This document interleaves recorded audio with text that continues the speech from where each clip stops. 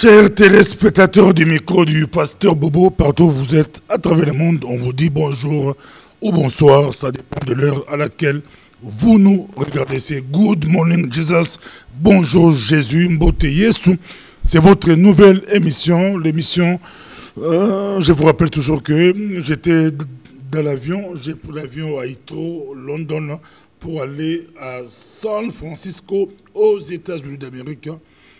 Et dans l'avion, et dans l'avion, il fallait transiter par Calgary. Et c'est de là que Dieu m'a donné cette vision. Les mêmes jours-là, j'étais avec le pasteur Joël, notre invité. Lui, il a pris l'avion à Gatwick.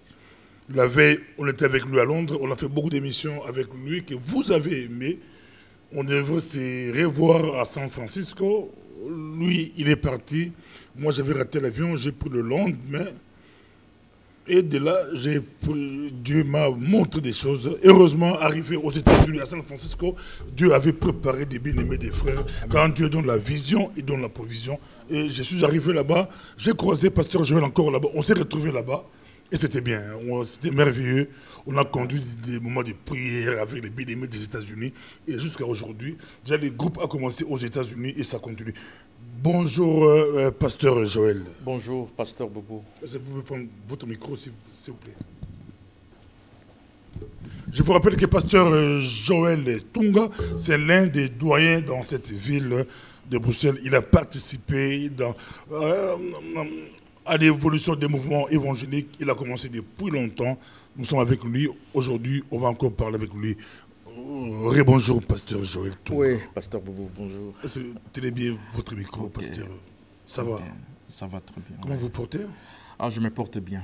Après les États-Unis, fatigué ou ça va? Un peu fatigué, mais ça va. Surtout avec le problème du pays, oui. On va y arriver, mais quand on était aux États-Unis, est-ce que tu savais, d'abord, on était avec vous à London City, tu savais qu'on allait voir ces choses qu'on a vu ensemble aux États-Unis euh, Vous pouvez répéter un peu votre question, s'il vous plaît. Je réponds la question, bon, je crois, tu pourras chanter d'abord, mais ah, quand on était à, Londres, on, a fait beaucoup d'émissions, beaucoup d'émissions à, Londres, c'était des directs qu'on faisait, beaucoup de bien aimés. Parce que vous attendiez à ce que Dieu avait préparé quelque chose de bon pour nous aux États-Unis d'Amérique. Euh, Tout d'abord, euh, ma rencontre avec toi, quand nous nous sommes rencontrés, je me suis dit en moi-même, Dieu va préparer quelque chose entre moi et le pasteur Bobo parce que ce n'est pas par hasard. En tout cas, je sentais qu'il y a quelque chose qui, va, qui allait naître de cette rencontre. Donc j'avais l'intuition que Dieu allait faire quelque chose, mais je m'étais tu. Alors, euh, jusqu'au moment où tu avais dit que Dieu t'avait parlé dans l'avion, et j'avais la conviction que c'était vrai. Et je pense que ça, ce n'est que le début encore. L'œuvre va grandir. Merci beaucoup. Derrière nous, il y a des belles aimés. Nous saluons la présence d'Elosie Loponda. Nous saluons sa présence. Elle est active dans beaucoup de domaines, surtout au Congo. Elle travaille, elle a on dit, on dit qu'il travaille dans des milieux où les enfants, quand j'ai vu ça, j'ai failli pleurer. Comment elle est en Europe, mais elle a pensé aux enfants à Makanza. Là-bas, qui ont des difficultés pour aller à l'école, il faut prendre des. Tu vois, l'école, il faut traverser le, hein, le fleuve pour aller étudier de l'autre côté. Oh. Et elle pense à, construire des bateaux pour ces enfants-là. Chaque matin, ces enfants doivent traverser. Vous dites quoi pour des projets comme ça? Une personne qui a étudié en Europe, qui a terminé ses, études en Europe, qui travaille en Europe, mais qui va jusqu'au village aider les enfants. Moi, je pense toujours que euh, Dieu nous a fait grâce de venir dans ce genre de pays développés. Et si Dieu nous a fait grâce de venir dans ce genre de pays, c'est pour que nous puissions penser aux nôtres qui sont restés là-bas. Donc avec l'intelligence que euh, nous recevons ici dans des écoles, je pense que euh, Dieu a prévu que nous puissions rentrer pour euh, essayer de développer, d'aider aussi nos populations. Et c'est ce que je pense pour toute la jeunesse d'ici. Que Dieu nous a envoyés ici pour que nos enfants puissent étudier ici. Mais c'est pour le développement de l'Afrique, de nos pays. Alors pour la sœur, en tout cas, c'est une très très très bonne chose, et belle chose même. Est-ce qu'on peut applaudir quand même? Applaudissons, on peut applaudir. Ça, c'est extraordinaire. Je vois Dodo, Dodo de Bruxelles. Pascal, lui, vient de Namur, Hollande de Bénémé. Notre papa, il est de Stombeck. Est-ce que vous pouvez faire un son Un son qui vous. Et vous nous dites pourquoi ce chant-là Ok. Euh, je vais chanter un chant de remerciement. C'est un chant de Alain Moloto dans ton sanctuaire. Parce que bon, nous sommes arrivés en 2019, c'est vrai, Dieu nous a gardés pendant toute l'année 2017. Nous avons vu la main de Dieu. Il nous a secourus dans tous nos combats. Il était là présent. Et il a permis que nous puissions atteindre cette année en bonne santé avec nos familles. Et je pensais à lui dire merci. C'est pour cela que j'aimerais bien commencer avec ce chant de Alain Moloto.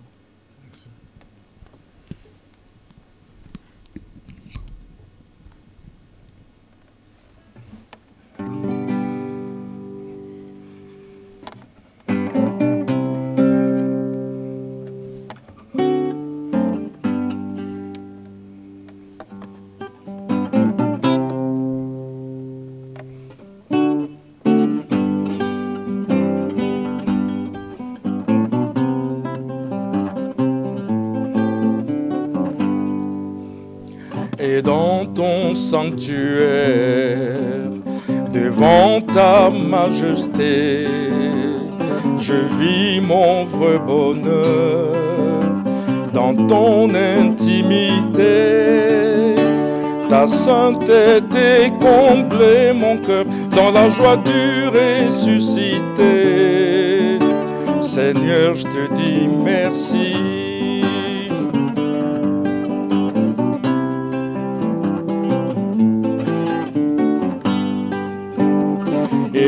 Dans ta présence, j'exalte ta puissance, ta gloire est mon partage, toi le rocher des âges. Mes faibles mots te sanctifient et mon esprit te magnifie. Seigneur, je te dis merci.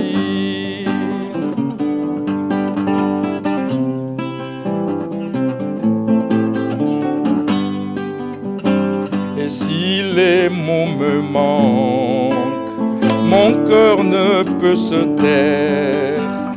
Et si mon cœur se tait, alors mon silence t'adore. Car tout dans ton glorieux décor annonce que tu agis encore.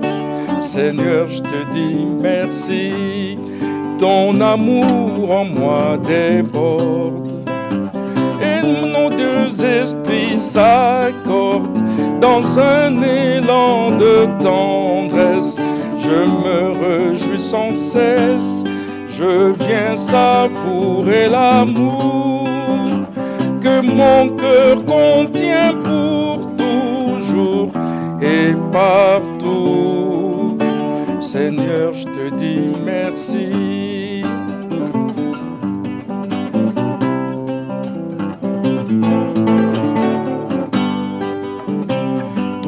Mon bonheur se passe là devant ta face. Il n'y a pas meilleur endroit qu'à l'ombre de ta droite qui me relève de mes faiblesses et qui me remplit d'allégresse. Seigneur, je te dis merci.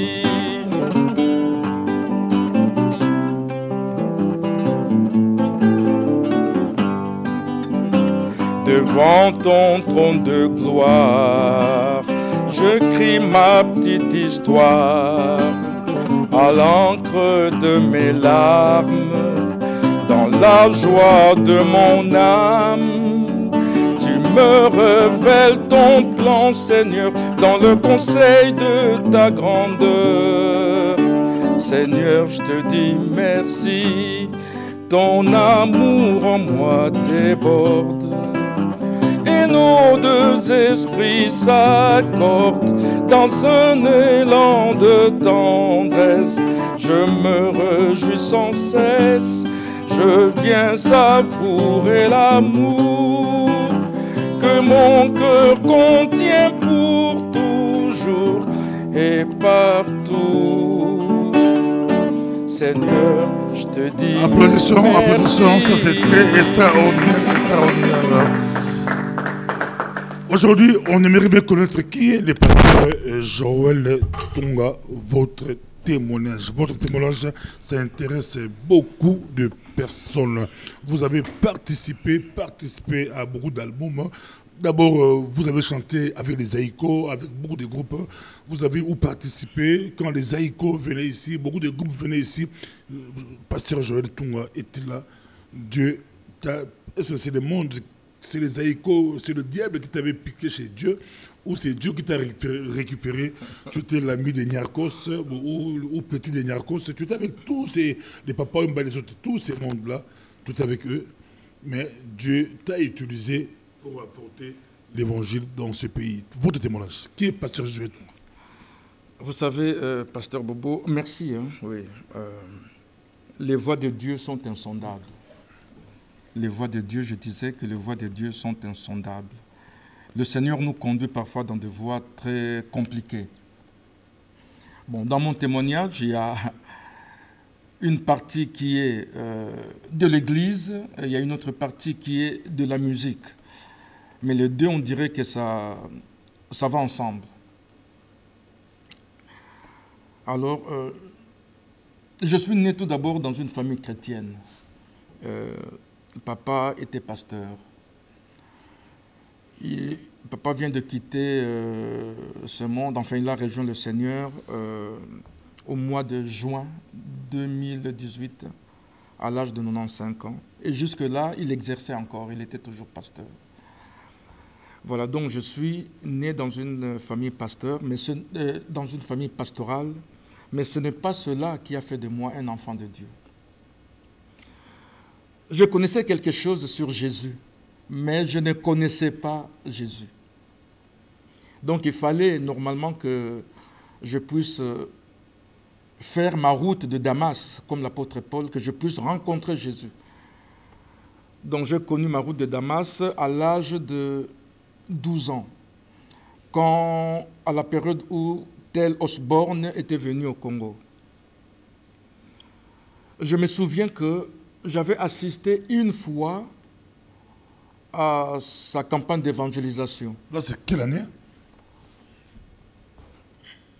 Hmm, je ne 80, 79, 78, je 77 pense que c'était entre 70. Euh, Année 70 déjà. C'était vers les 70, je pense. Année 70. Vers. Alors. Euh, oui. Donc, j'ai fait appel à ça le pasteur Osborne était venu, enfin l'évangéliste. L'américain tel Osborne. Oui, oui, oui. Et pendant la même période, j'étais tombé malade. J'étais tombé malade pendant qu'il était là-bas, euh, à Kinshasa. Et comme papa était aussi dans l'armée, il était officier de l'armée, il avait pris part à l'organisation de l'évangélisation de, de l'évangéliste était chrétien et militaire. Il était militaire. il était aumônier chef de ah, l'armée, aumônier chef de, l'armée congolaise à hmm. l'époque. Donc, aumônier, c'est pasteur, pasteur chez les militaires. chez les militaires. Donc, il avait pris part à l'organisation avec les Verneaux. Alors, ce qui fait que pendant cette période, j'étais tombé malade. Et ma maladie m'a presque conduit à la mort. Alors je me souviens, euh, je me posais des questions. Enfin, je parlerai d'un certain dimanche, puisque c'est ce dimanche-là qui m'est resté à l'esprit. Un dimanche où j'avais l'assurance, j'étais sûr que je n'arriverais pas lundi. Je savais que la nuit, j'allais mourir. Ça, je le ressentais. Et j'étais triste. Je me posais des questions. Mais qui va me sauver? Qui va me sauver puisque les médecins n'ont pas su faire quelque chose pour moi Alors j'étais dans cette chambre où je me posais des questions, où j'étais angoissé. Et en même temps, j'étais aussi triste. Quand je voyais mes frères, mes soeurs, mes parents, moi je savais que j'allais mourir, mais je ne voulais pas le leur dire. Je ne pouvais pas le leur dire pour ne pas les attrister aussi à, à leur tour. Alors j'étais là, je me posais la question, qui va m'aider Qui va me secourir? Pasteur Bobo, le Saint-Esprit est entré dans la chambre. J'ai entendu. Jésus est le même hier, aujourd'hui et éternellement. Le temps de miracle n'est pas passé. Pasteur Bobo, j'ai bondi, je saisis cette parole. Alors moi qui avais peur, je me suis retrouvé dans la joie en étant malade. Je disais, Jésus va me sauver. Jésus va me sauver. J'attendais que papa vienne euh, dans, dans, ma chambre pour que je puisse le, lui dire. Jésus va me sauver. Je me suis accroché sur cette espérance-là. Alors quand papa est venu, la première chose, je lui ai dit, papa, amène-moi chez Osborne. Il m'a regardé.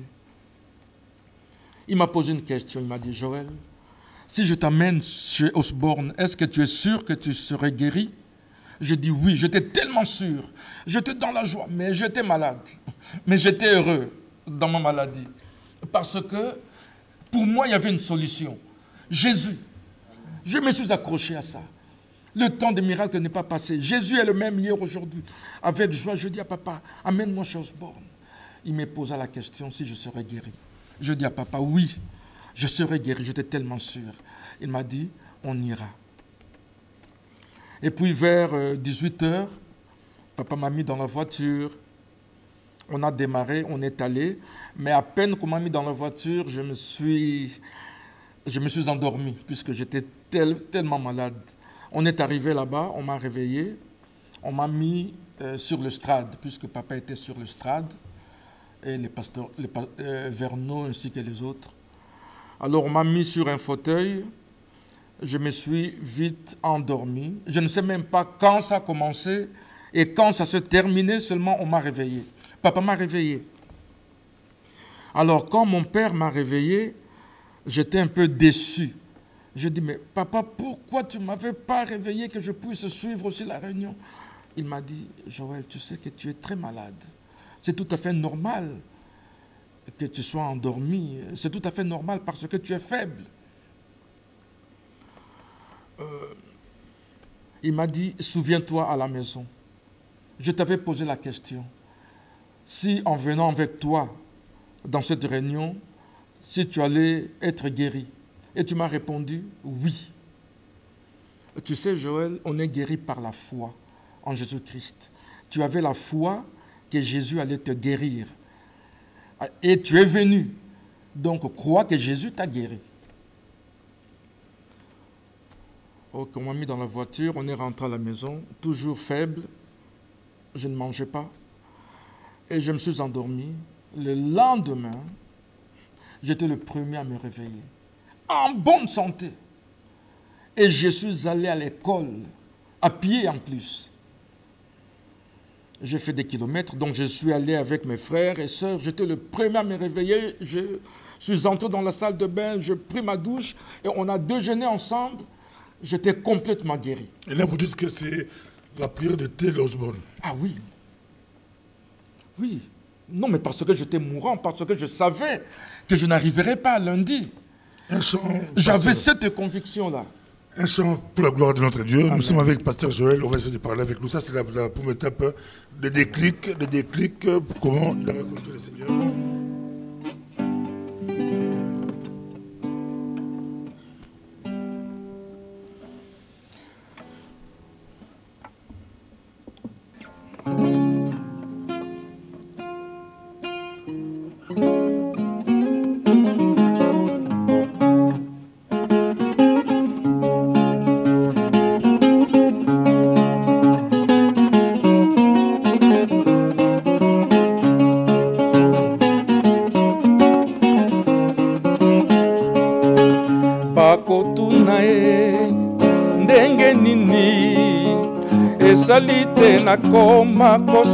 Yesu masiya solo motu netunami nzambe ye ndakelakanga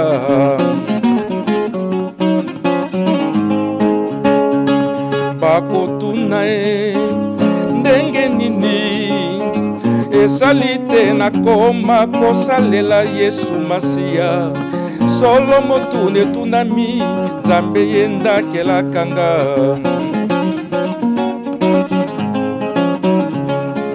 nzela nde suye mokuapo na kape alobela bato lolenge mingi. Nayokaki lolaka ntango masiya pesi ndingisa natosise kotosa. Nzela yesu ye mokuaponaka mpe alobela bato lolenge mingi. Nga nayokaki lolaka ntango masi apesi ndingisa natosise kotosa. Natiki nyonso mpo na ye atalisinga nzela alobi nakende.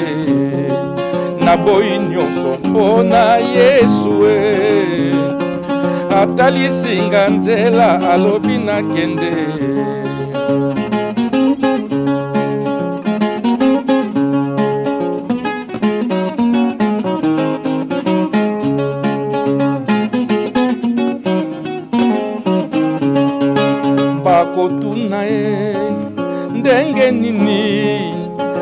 esali te nakoma kosambela yesu masiya solo motu netunami nzambe ye ndakelakanga.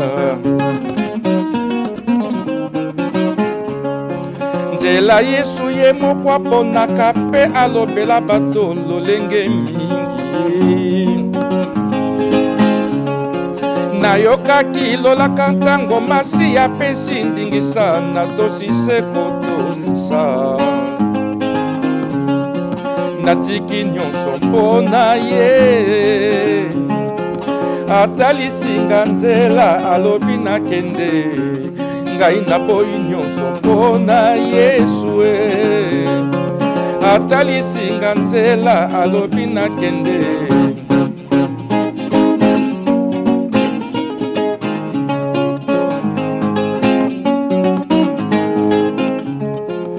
nazalaki nanga ebembe lavi masi azongiselinga sala nanga nyonso lingi mpo nzela na yo nga nayebaki te na mitiki mbeka ezwa talo likabo epano yesu e Merci, merci, merci, Pasteur Joël. C'est extraordinaire. On peut applaudir, ça c'est très beau, extraordinaire, Pasteur Joël. Pasteur Joël, vous avez côtoyé tous les grands de ce monde par rapport à la musique. C'est tous les grands guitaristes. Vous les avez côtoyés, Manu Akouakou, c'est tous. Les Bavons Marie-Marie. Votre parcours musical, comment avez-vous appris la musique? C'est comment? Parlez-nous un peu de, de votre parcours par rapport à, à la guitare, à la musique. Voilà, donc voilà. Ça a euh, commencé quand? Je pense qu'à l'âge de 6 ans, 5-6 ans, je, j'ai commencé à aimer les sons de la guitare.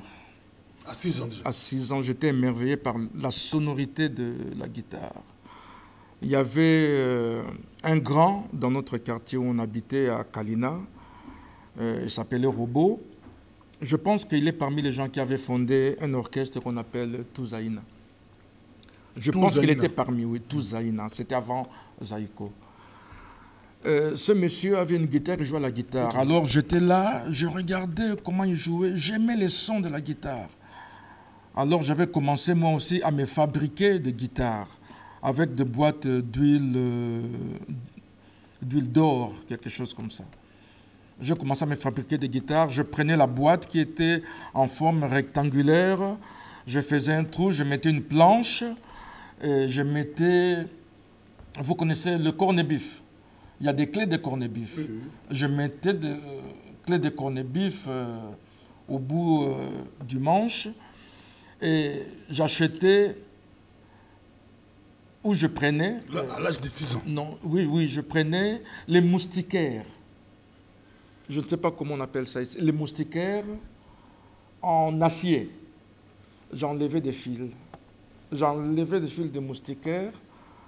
Je mettais, je les reliais parfois à deux, parfois à trois, parfois à quatre. Et je mettais sur ma guitare et c'est comme ça que je jouais. Et pendant que je faisais tout ça, ma mère observait, mais moi je ne savais pas. Alors, quand ma mère était partie euh, en Suisse, à Genève, pour une formation, en revenant, elle m'a apporté une vraie guitare. Comme cadeau Comme cadeau. Alors, elle m'a apporté cette guitare. Je pense qu'elle avait demandé là-bas euh, que, son fils, euh, que son fils en avait besoin, puisque elle a dit aux personnes là où elle était que j'aimerais que mon fils, elle avait participé à une réunion de prière où les jeunes jouaient à la guitare. Les jeunes jouaient et chantaient. Alors maman a dit, ah, j'aimerais que mon fils aussi commence à faire ça, que mon fils commence à jouer et chanter pour Jésus. Et on lui a donné, je ne sais pas parce que ça, je n'ai jamais demandé, elle m'a apporté une guitare. Alors quand j'ai eu cette guitare, et vous savez à l'époque au Congo, les gens se fabriquaient des guitares avoir une guitare, ce n'était pas facile. Alors, comme j'avais une guitare, il y a des musiciens qui passaient à la maison, qui jouaient. Les musiciens Comme qui, par exemple? Là, pas des musiciens connus. Les musiciens connus, ça, c'est après. Hein. Mais pendant ce temps, pendant la même époque, il y avait une fête chez nos voisins. Alors, ils avaient invité l'orchestre euh, Bavo Marie-Marie et l'orchestre Négro Succès de Bavo Marie-Marie. Bavo Marie-Marie, le frère de Luambo. Bavo Marie-Marie, c'est le frère de Luambo. Il était soliste de l'orchestre Négro Succès. Un grand soliste. Euh, il était une grande euh, star de l'époque. Alors Bavon jouait. Moi, j'étais là à ses pieds. J'étais tellement émerveillé. Pour la première fois, je voyais quelqu'un jouer à la guitare électrique. Alors j'étais là, je regardais, j'étais à ses pieds. Il jouait, il jouait. Il m'avait remarqué.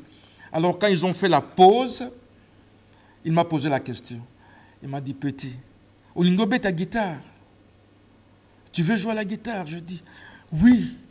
Mes yeux étaient illuminés. Je dis, oui, je veux jouer. Il a pris sa guitare, il l'a enlevé, il a réglé euh, la ceinture, enfin j'appelle sa ceinture, il a réglé pour ma taille, il m'a donné, et j'ai commencé à jouer.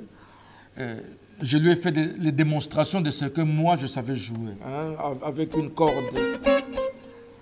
Et il m'a félicité, il m'a dit Ah, petit, mais tu joues bien. Otobeta bien, petit. Otobeta très bien. Alors là, c'était pour la première fois que j'avais joué à la guitare électrique. Et j'ai eu ce baptême avec euh, Bavon Marie-Marie. Et puis, surtout, quand on a déménagé, quand on est allé à Matongé, c'est là que. Là, vous quittez Gombe?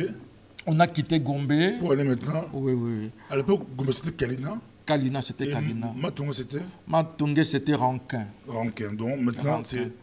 On a quitté vers les années 72, je pense. On est allé à Matongé. Alors à Matongé, j'avais une guitare. Je, commençais aussi à progresser avec la guitare puisqu'il y a quelqu'un qui était belgicain qui m'avait apporté un livre sur les accords de guitare. Et ça m'a aidé à progresser. J'ai appris les accords mineurs, septième, majeurs. Alors on est arrivé à Matongé. Euh, un voisin à moi était euh, un ami de classe avec Pépé Feli. Pépé Feli Pépé Feli Manouakou. Ah, Manouakou, oui, des Oui. Enfin, pas un ami à moi, c'est un grand du quartier. Alors comme euh, je jouais à la guitare, lui il aimait chanter, alors il m'appelait, il composait et moi je jouais avec lui. Alors il m'a il m'a mis en contact avec, euh, avec Pépé Feli. Et j'allais chez Pépé Feli pour euh, essayer d'apprendre aussi. Chez Manoko Chez Manouako. À la maison À, à la maison chez lui. Je pense que Manouako à l'époque devait avoir 20 ou 19 ans. Et vous? Je, ne sais plus, mais il était fort en guitare. Il était fort en guitare. Alors je lui posais des questions, je lui posais des questions, et il m'a donné quelques clés. Il m'a donné quelques clés euh, pour la guitare solo. Euh, puis j'ai commencé à jouer. Euh, je suis devenu soliste aussi. et puis ça n'a pas duré. Je ne pouvais pas me manifester à Kinshasa parce que papa était pasteur, comme je dis. Hein. C'est quand je suis allé à l'internat que j'ai joué pour la première fois avec l'orchestre de l'internat. Et puis, j'ai quitté l'internat. Quand j'ai fini à l'internat, je suis venu euh, en Europe. Je suis venu en Europe, c'était en 76. Merci beaucoup. L'Europe est encore comme ça. On va prendre l'étape de l'Europe. Nous vous rappelons que nous sommes avec Pasteur Joël Tunga. Un chant, on verra l'étape de l'Europe. Pasteur Joël Tunga en Europe. Yahweh ngai na ye nzambe yanolanga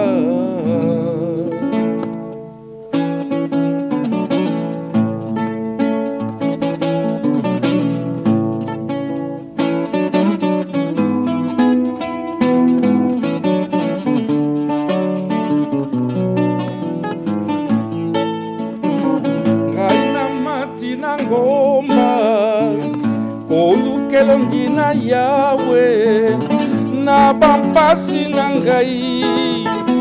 Ngai mowumbu na yo papa yanola ngai.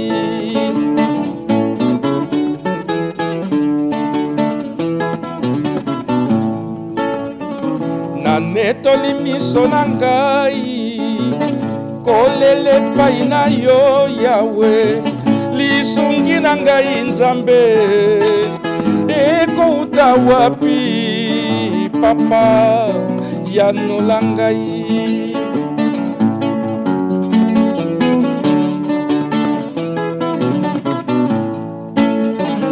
Ntango nyonso nakosenga ntongo mpokwa na losambo lisungi na ngai nzambe. Ekouta wapi papa yanola ngai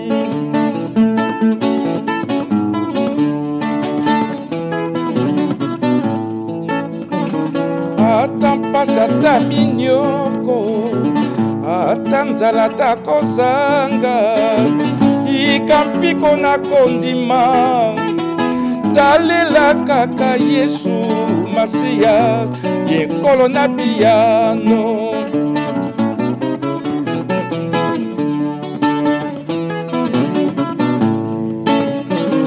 ngai na mati na ngomba elongi na yawe na bampasi na ngai. Ngai mowumbu na yo papa yanola ngai.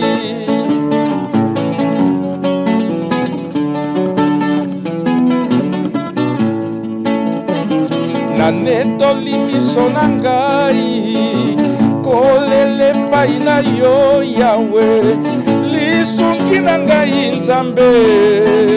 Ekouta wapi papa yanola ngai.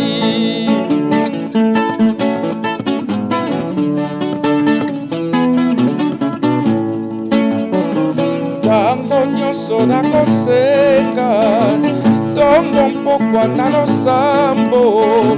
Lisungi na ngai nzambe ekouta wapi papa yanola ngai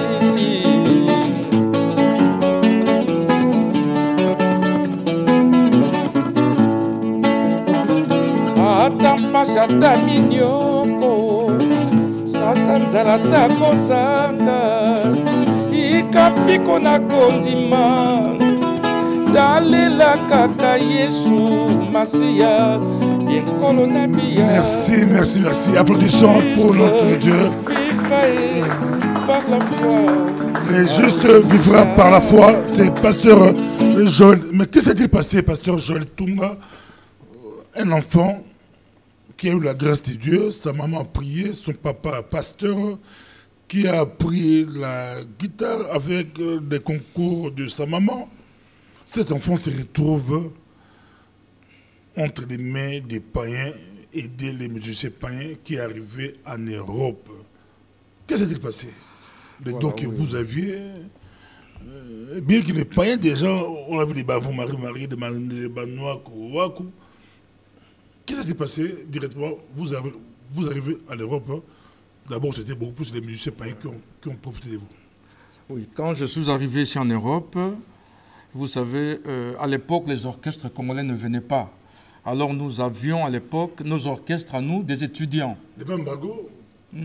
Non, il n'y avait, pas, il avait pas embargo, mais les orchestres ne venaient pas ici.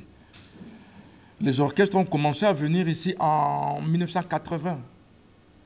Donc les orchestres ne venaient pas. Alors ce qui fait que nous avions nos groupes à nous. Vous arrivez en Europe quand? En 76. Ici à Bruxelles Ici, en 76. Et en 76, les orchestres ne venaient pas. Les, orchestres ne venaient pas. Quand je suis arrivé, euh, j'ai vite cherché une église. J'ai trouvé une église en 1977, une église évangélique. Il n'y avait pas même des églises de Congolais. En 77. Aucune église congolaise. Aucune église, aucune église. En 77, j'avais trouvé une église évangélique à la rue du Moniteur. Et là, tous les mercredis, avec les jeunes, nous avions notre réunion des jeunes. On jouait dans le sous-sol, on avait réunion tous les mercredis, et c'est là qu'il y avait les guitares. Église des Blancs De Blancs. Et vous visitez cette église-là, voilà. et vous jouez avec Et c'est là que j'ai commencé à jouer des chants chrétiens. Dans cette réunion-là. J'ai joué avec des Blancs, on chantait, j'ai joué des chants chrétiens, j'ai appris là.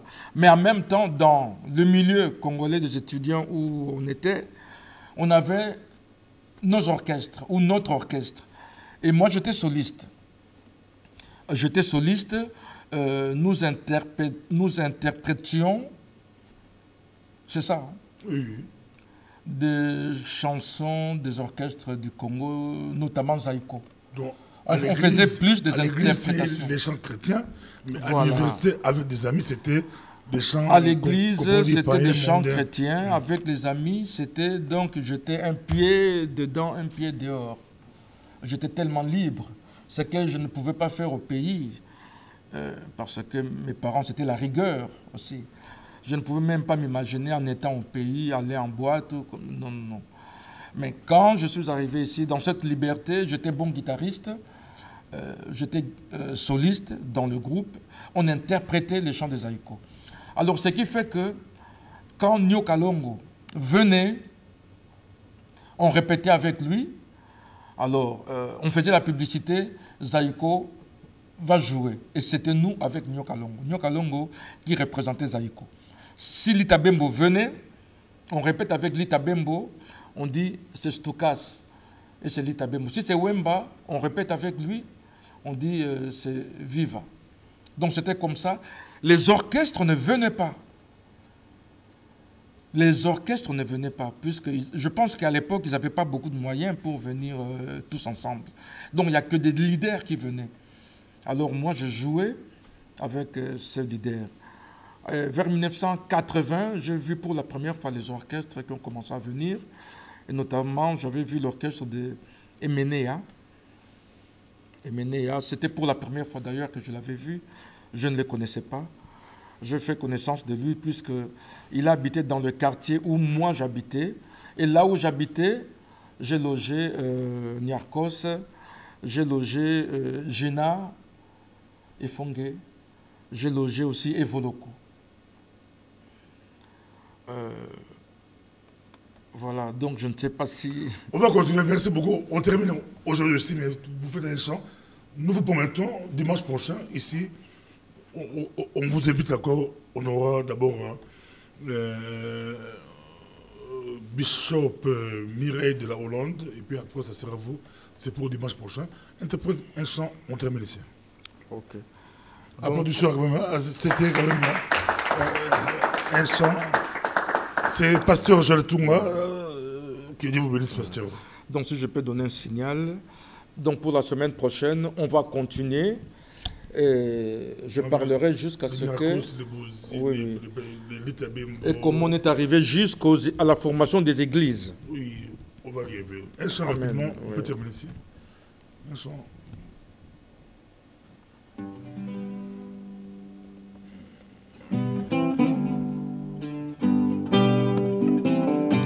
nazalaki na kati ya masumu mpe nasengaki epai na yesu andimaki kosenga nanga mpe alongoli ngai na masumu. Tikanga nakumisa ye na manso asaleli ngai. Alakisi bolingo na ye pai na ngai. Nazalaki na kati ya masumu mpe nasengaki epai na yesu andimaki kosenga nanga mpe alongoli ngai na masumu. Tikanga nakumisa ye na manso asaleli ngai. Alakisi bolingo na ye pai na ngai. Natundi yo yesu na ngai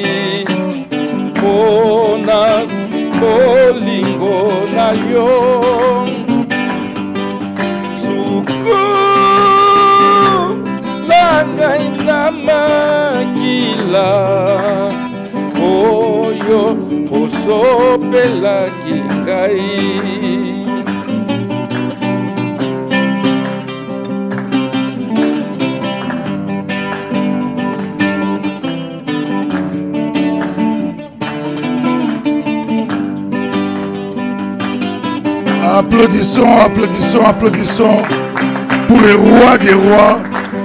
Ça a été un plaisir pour nous d'avoir encore Pasteur Joël Touma ap- après notre séjour aux États-Unis d'Amérique. C'était formidable. Merci, merci, merci, merci. Nous bénissons et bien-aimés qui est avec nous. bénissons. Merci, merci, merci, merci, merci. Dimanche prochain, Merci, merci. kino tokokutana na yo Merci, merci, merci, merci, merci, merci. beaucoup merci beaucoup